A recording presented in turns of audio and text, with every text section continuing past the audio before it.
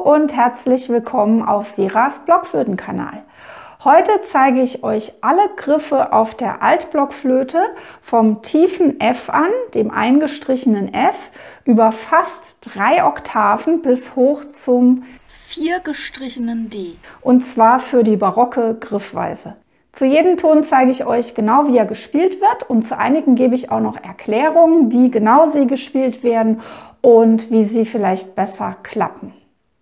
Falls ihr neu seid hier, mein Name ist Vera Petri und ich gebe euch Tipps zu gutem und schönem Blockflötenspiel.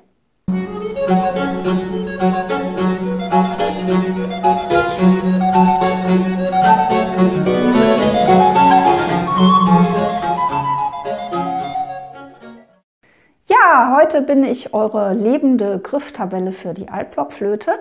Ihr habt euch das ja gewünscht als Video, nachdem ich vor ganz kurzer Zeit ein gleiches Video für die Sopranblockflöte gemacht habe mit allen Griffen.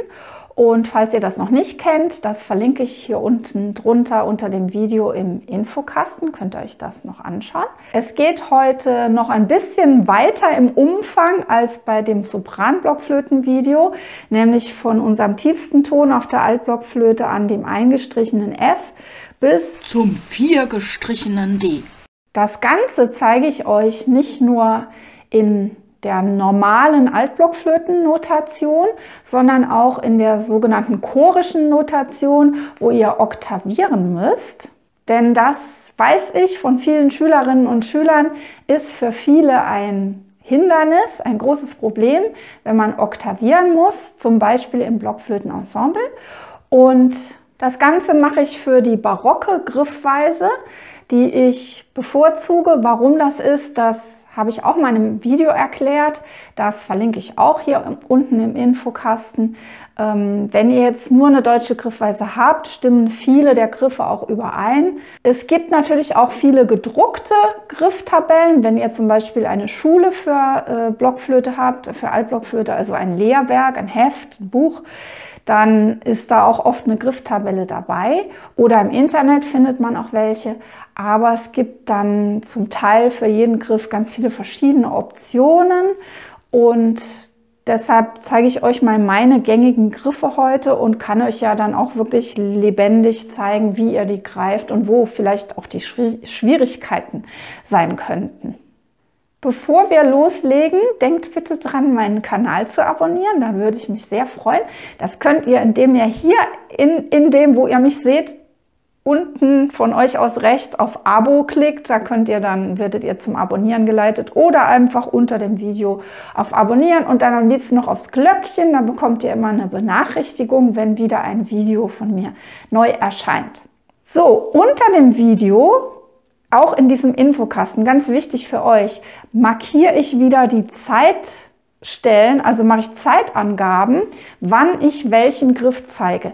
Denn es kann ja sein, dass einige von euch sich nicht das ganze Video anschauen wollen und alles dazu oder nicht immer wieder, wenn ihr mal einen bestimmten Griff suchen wollt, wie ging der noch? Und dann könnt ihr einfach unten in der Liste unter diesem Video schauen, bei welcher Minute das war und welcher Sekunde und da klickt ihr einfach drauf, dann kommt ihr direkt zu dieser Stelle.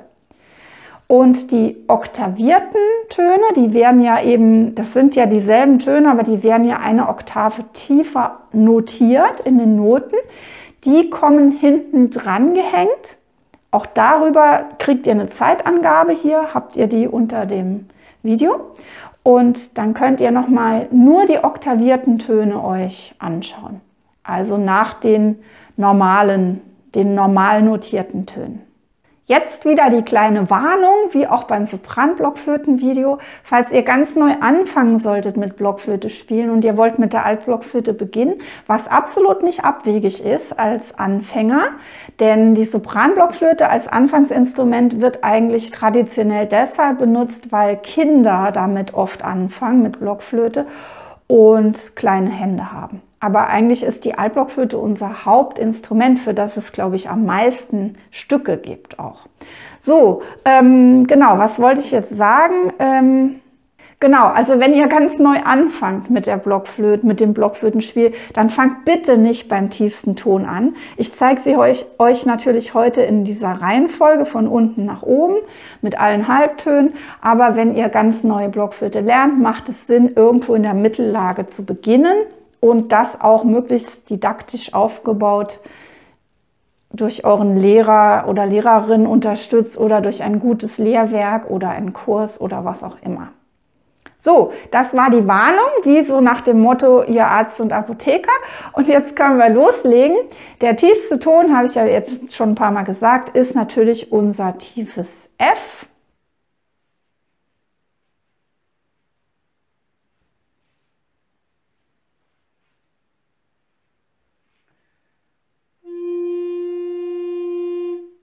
bei dem alle Finger drauf sind, also auch der Daumen hinten auf dem Daumenloch einfach entspannt ganz drauf. Und ich sage entspannt, das ist für manche Leute gar nicht so ein entspannter Ton. Ähm, das kann von allen möglichen Faktoren natürlich abhängen, eure gesamte Haltung, eure Fingerhaltung, eure Handhaltung. Und als allerwichtigsten Tipp möchte ich euch einfach sagen, versucht die Finger entspannt drauf zu machen. Wenn der nicht klappt da unten, das tiefe F, dann nutzt es nicht, dass ihr fester drauf drückt oder dass ihr guckt, habe ich die Finger richtig drauf, die Flöte dreht und dann stimmt wieder nichts. Also versucht mal darauf zu achten, dass ihr zum Beispiel, wenn ihr das tiefe F spielen wollt, nicht hier irgendwo verkrampft seid in der linken Hand. Also vielleicht mit dem Daumen hier drauf drückt. Deshalb sage ich entspannt drauf. Dann kriegen wir das tiefe Fis.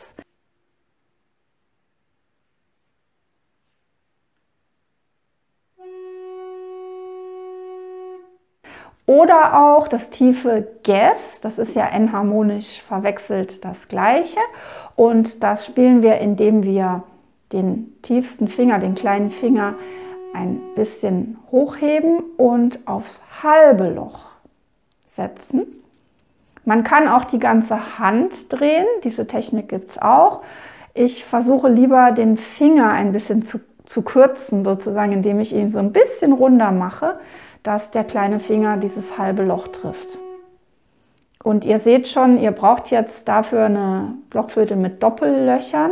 Und wenn die Blockflöte eine barocke Griffweise hat, hat sie normalerweise auch Doppellöcher. Also wenn es jetzt keine Renaissanceflöte ist oder so, wie hier meine Ganassi-Flöten, die haben natürlich keine Doppellöcher, die sind aus früherer Zeit.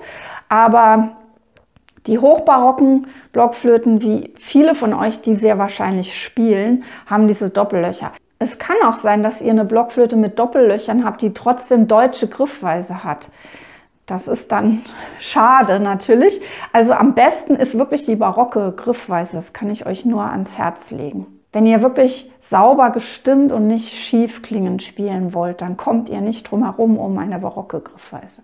Das war eben das Fis oder auch das Yes.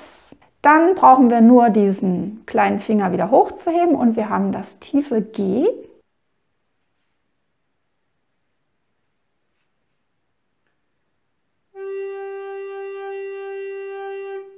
Und für das tiefe Gis oder auch Ass, das eingestrichene tiefe Gis oder Ass, brauchen wir auch wieder nur den Finger etwas klein wenig anzuheben und aufs halbe Loch zu tun.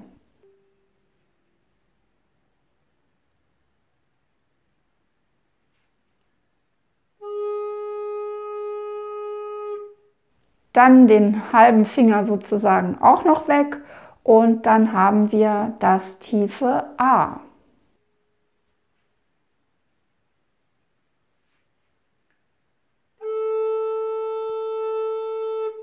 Wenn wir das A erhöhen mit einem Kreuz davor oder wenn wir das darüber liegende H erniedrigen, haben wir ein B davor und der Ton heißt auch B. Also A ist bzw. B.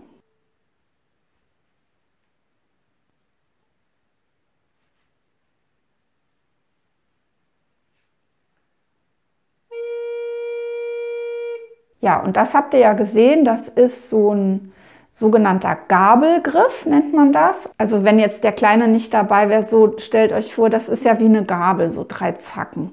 Und das nennt man Gabelgriff, wo also drumherum Finger drauf sind und dann irgendeiner hoch steht. Und das sind beim Blockflöte-Spielen die meist die kniffligsten Töne, jedenfalls in Kombination mit anderen Tönen. Wir haben eben keine Klappen. Also bei vielen Instrumenten aus späterer Zeit vor allem gibt es Klappen statt Löchern. So, wir hatten das B oder auch Ais, dann das H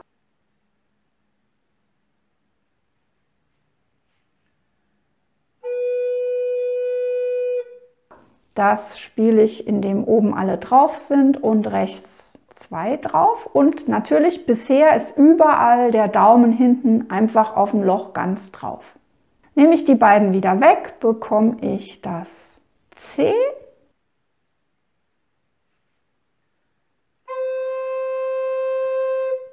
Und das C kann ich auch wieder mit einem Kreuz erhöhen, dann ist es ein Cis.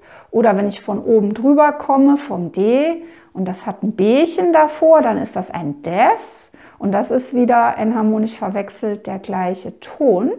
Und da würde ich euch jetzt mal sagen, in der Praxis ist es am besten, ihr benutzt ein und denselben Griff für das Cis oder auch das Des. Und ich zeige euch gleich aber noch die Alternativen. Also Cis bzw. Des.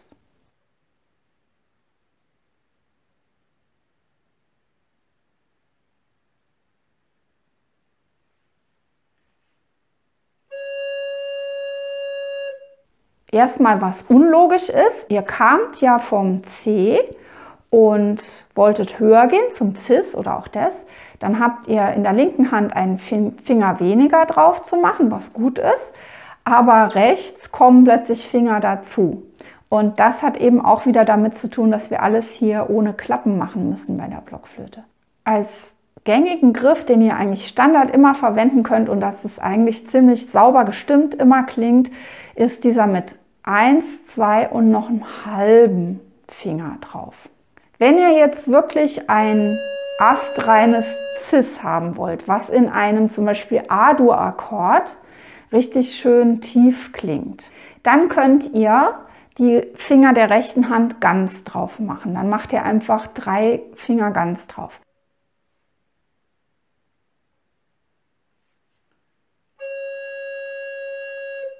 Ich warne euch aber, dass ihr das Standard immer macht, denn wenn ihr den letzten Finger da unten immer ganz aufs Loch macht, ist der Ton zu tief meistens.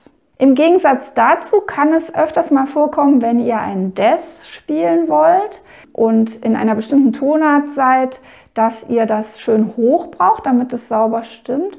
Und dann würde ich eben den dritten Finger da unten ganz weglassen und nur oben zwei, unten zwei Finger.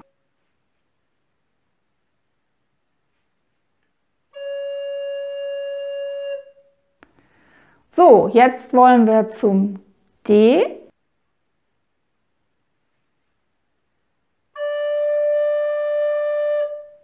Und da müssen wir nur rechts die Finger wieder wegnehmen, ist klar. Vom D aus geht es dann wieder einen halben Ton höher und jetzt kommen wir zum Dis oder auch S.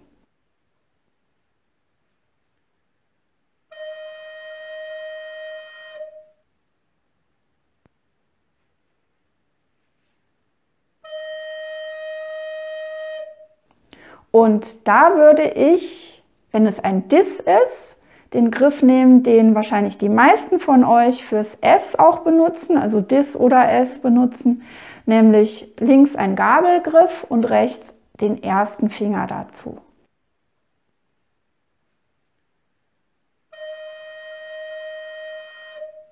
Ich benutze lieber für das S einen anderen Griff, der ein bisschen höher klingt und der in meinen Ohren besser gestimmt ist und den ich eigentlich Schülerinnen und Schülern von Anfang an so beibringe oder sie sogar manchmal umlernen lasse. Das klappt bei manchen gut, bei manchen ist es zu sehr schon drin, aber jedenfalls würde ich sagen, spielt das S so.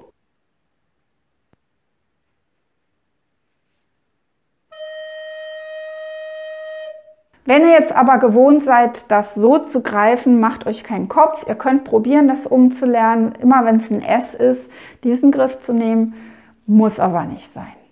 Dann nehmen wir das ganze Gedöns hier weg und haben dann das E.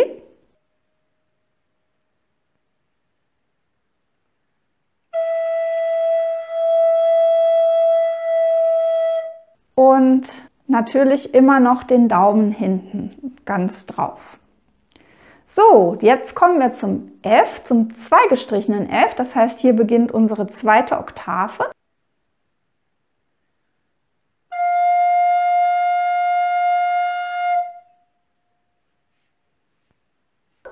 Und immer noch mit ganzem Daumen hinten drauf vertauscht ihr jetzt einfach Zeigefinger und Mittelfinger. Jetzt gehen wir zum Fis oder auch Guess.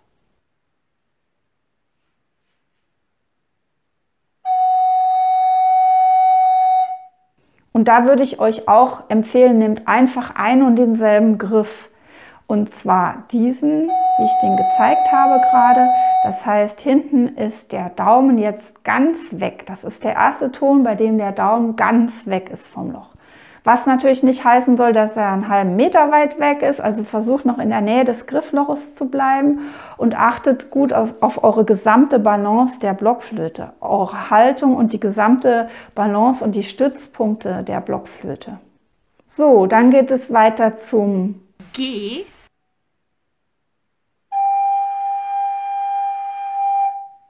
Und das war ganz einfach, da musstet ihr nur einen Finger oben noch wegnehmen. Der Ton ist natürlich in der Balance noch am kniffligsten.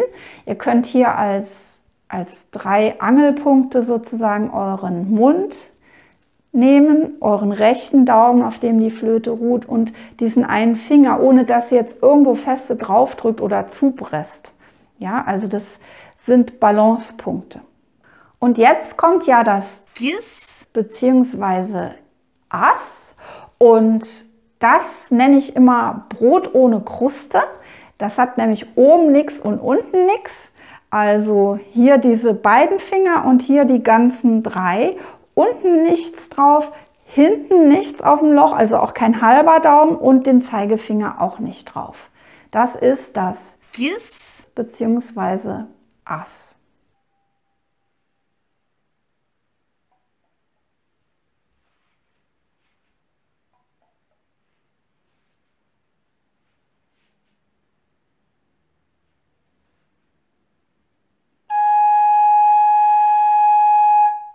Das ist so ein typischer Griff, wo mich Schülerinnen und Schüler immer wieder fragen, äh, wie geht denn der noch? Ne? Also was am häufigsten schiefgehen kann dabei ist, dass ihr den Zeigefinger mit drauf macht und dann klingt der viel zu tief. Ich zeige euch das mal im Vergleich.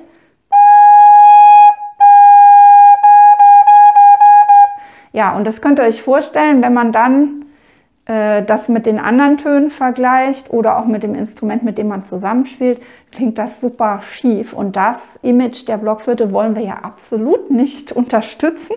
Also achtet drauf, oben nichts, unten nichts. Oben nur zwei Finger, oben drei, dass ihr jeweils einen nicht drauf habt und ohne Daumen. Jetzt geht's weiter. Jetzt kommt das zweigestrichene A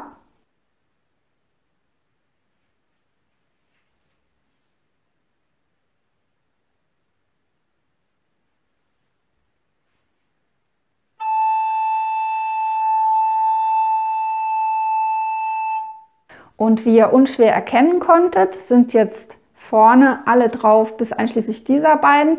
Und jetzt ist zum ersten Mal tatsächlich der Daumen hinten nur ein Stückchen weit drauf.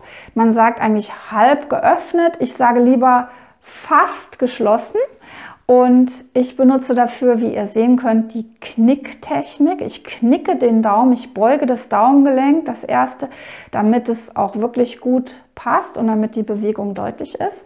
Wenn ihr Fragen dazu habt, könnt ihr mir gerne in die Kommentare schreiben, was diesen Daumen betrifft, dieses Halbloch und diese Knicktechnik oder auch alternativ die Schiebetechnik. Und ich habe dazu auch schon mal Videos gemacht, die verlinke ich euch auch wieder hier unten im Infokasten. Die könnt ihr euch später dann ansehen. Und ab jetzt, ab diesem hohen A, sind alle Töne, die ich euch zeige, mit so einem leicht geöffneten Daumenloch. Wenn ihr das Daumenloch zu weit öffnet, sprechen die alle nicht an, die jetzt gleich kommen. Deshalb macht das ganz wenig auf und wenn es geht, benutzt die Knicktechnik. Dann kommt das zweigestrichene B.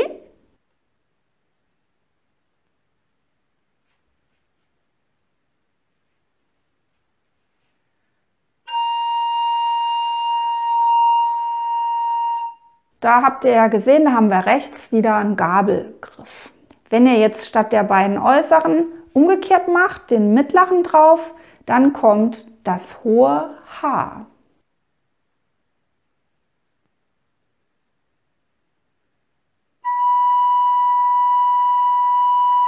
Ja, und dann brauchen wir diesen einen nur wegzunehmen, immer noch hinten halb natürlich mit dem Daumen. Und dann kommt das hohe C.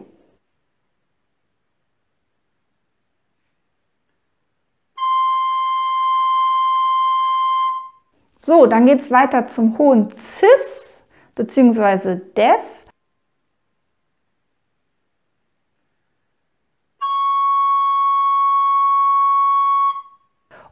Das ist ein Ton, wo ganz viele von euch immer Rätsel raten. Wie geht der? Also das erstaunt mich immer wieder, dass in den Noten, die jemand spielt im Unterricht, äh, viel höhere Töne noch vorkommen als dieses Cis.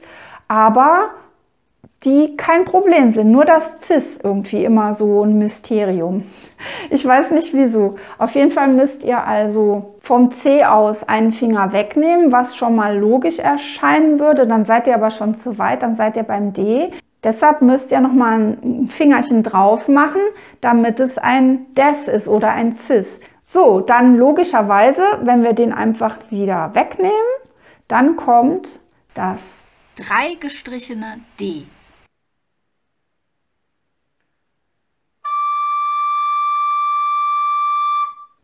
So, und jetzt müsst ihr wieder, um einen Halbton höher zu können, Finger hinzunehmen. Und zwar gleich eine ganze Menge, nämlich drei Stück. Eins, zwei, drei. Und zwar den ganz, ganz normal drauf. Und dann habt ihr das hohe Dis bzw. S.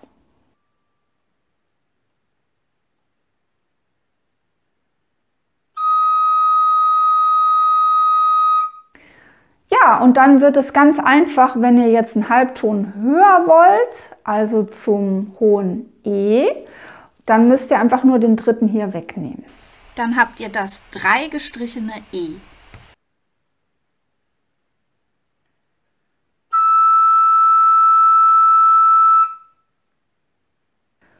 So, und jetzt ist es auch wieder so mit den Griffen. Bis dahin kann es schon kompliziert gewesen sein. Jetzt wollt ihr vom E direkt zum F, weil das E is wäre ja auch ein F. Also da haben wir ja keinen Halbton dazwischen.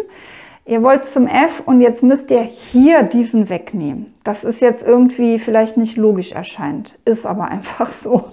Also vorher habt ihr hier immer rumhantiert, ne? entweder was dazu oder was weg. Und jetzt seid ihr schon beim hohen E gewesen und wollt jetzt das drei gestrichene F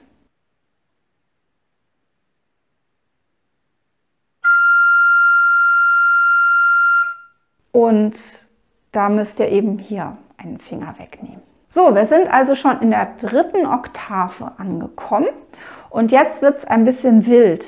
Ganz viele der Töne, die jetzt kommen, die jetzt noch höher gehen in dieser dritten Oktave, sind mit geschlossenem Schallloch gespielt. Also da muss ich tatsächlich dieses Loch auch noch schließen. Und da ich meine beiden Hände ja brauche dafür, bleibt mir nur mein Oberschenkel, um das zu tun. Und hier eine ganz große Warnung, wenn ihr das probiert, probiert das bitte im Sitzen auf einem Stuhl, wo ihr gerade sitzt, keine Armlehnen habt, damit ihr euch bloß nicht eure Zähne ausschlagt. Und ähm, man kann das auch im Stehen machen. Ich habe es ja schon ein paar Mal gemacht, deshalb äh, mache ich das jetzt und ich kann ja auch hier mir Zeit nehmen, das ganz ruhig zu machen. Ähm, wenn man das jetzt mitten im Stück hat, muss man echt aufpassen, einen Ton ohne stopfen, so wie man das nennt, und einen mit, dann geht das zack, zack. So. Also äh, passt auf, ja? Also wir waren eben beim hohen F. Jetzt kommt das hohe Fis oder auch Guess.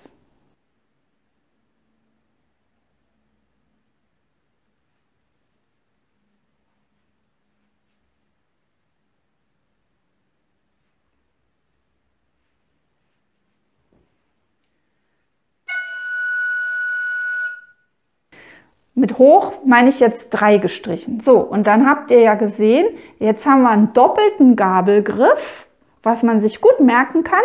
Aber ganz wichtig, auch wenn ihr das in irgendwelchen Grifftabellen nicht findet, macht noch das halbe Loch unten zu. Nicht das ganze, nur das halbe. Dann ist er perfekt gestimmt und er spricht leichter an, als wenn ihr nur so macht.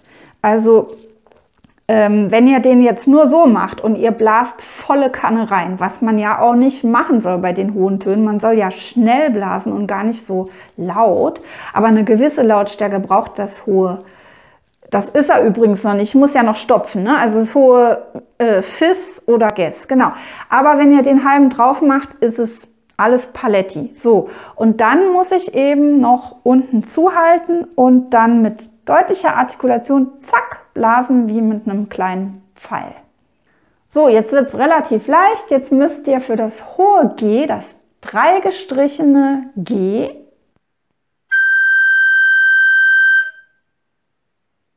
einfach nur denselben Griff nehmen, wie ihr gesehen habt und diesmal nichts zustopfen unten. So, und jetzt ist es leider relativ unlogisch, wie die Griffe weitergehen. Da kann ich euch jetzt nicht so gut helfen. Ich kann es euch nur zeigen, wie es geht. Jetzt kommt das dreigestrichene Gis bzw. Ass.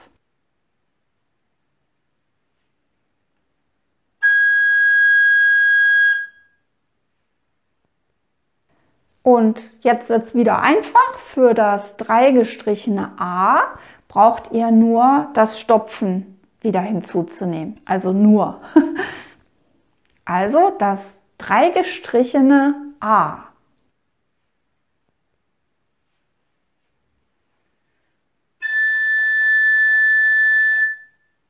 Dann kommt das dreigestrichene AIs bzw. B.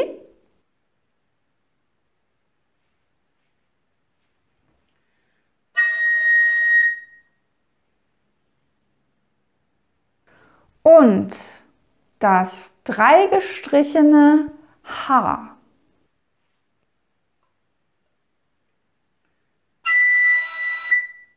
Also ab jetzt wird es immer schriller und es kann sein, dass diese Griffe, die jetzt so ganz hoch gehen, ein paar haben wir ja noch, dass die auf eurer Altblockflöte nicht zu funktionieren scheinen, dann seid ihr vielleicht im falschen Register gelandet, dann müsst ihr noch gezielter blasen und schneller und mit deutlicherer Artikulation. Es kann auch sein, dass bei eurer speziellen Altblockflöte diese Griffe doch anders gehen. Also da kann ich jetzt keine Garantie geben. Ähm, ihr habt ja normalerweise Grifftabellen mitgeliefert bekommen mit eurer Blockflöte, wenn ihr die im Laden gekauft habt. Da könnt ihr auch nochmal nachschauen und dann hoffe ich, dass das bei euch klappt. Die Frage ist ja, wann braucht ihr diese Töne mal? Also ich will sie aber heute dazu nehmen, weil man weiß ja nie, wer sie gebrauchen kann und dann haben wir das ein bisschen vollständig hier. Dann käme jetzt das vier gestrichene C.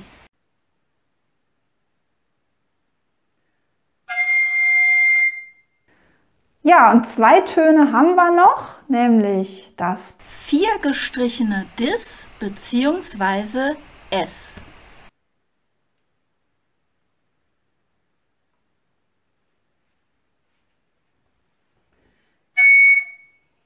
So, und jetzt kommt der letzte Ton, das vier gestrichene D. Und bitte passt auf, haltet euch die Ohren zu, nicht, dass einer Gehör geschädigt wird durch mein Video. Das ist echt sehr hoch und ähm, kann sehr schrill klingen im Video, wenn ihr euch das jetzt irgendwo mit Kopfhörern anhört oder so. Also Achtung.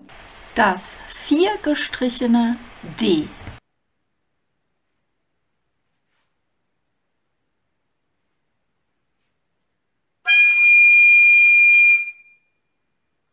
So, das war's für heute. Eure lebende Grifftabelle für die Altblockflöte. Ganz am Ende dieses Videos findet ihr noch die oktavierte Version derselben Noten. Wenn ihr Fragen hierzu habt, bitte schreibt mir, schreibt mir in die Kommentare oder geht auf meine Website, die ist auch verlinkt, da könnt ihr mich kontaktieren. Auf jeden Fall hoffe ich, dass ihr jetzt Nutzen hier rausziehen könnt und dass sich einige Rätsel gelöst haben. Falls euch das Video gefällt, dann gebt mir gerne einen Daumen hoch und falls ihr lernen wollt, wie ihr richtig gut, wenn ihr auch schon fortgeschritten seid oder noch nicht so weit fortgeschritten, aber richtig gut diese ganz hohen Töne spielen können wollt oder auch die ganz tiefen, die ja auch manchmal ein bisschen knifflig sein können, dann empfehle ich euch meinen Video-Online-Kurs Blockflöte Next Level. Damit haben einige vor euch schon gute Erfahrungen gemacht. Die könnt ihr auch lesen, diese Erfahrungen. Wenn ihr auf die Seite geht von meinem Kurs, dann seht ihr, was andere Teilnehmerinnen und Teilnehmer dazu gesagt haben, nachdem sie den Kurs absolviert haben. Ja, alle Info dazu findet ihr hier im Infokasten. Ich hoffe, es hat euch Spaß gemacht und ihr seid nächstes Mal wieder dabei auf Veras Blockflöten-Kanal. Ich freue mich auf euch. Bis dahin. Tschüss.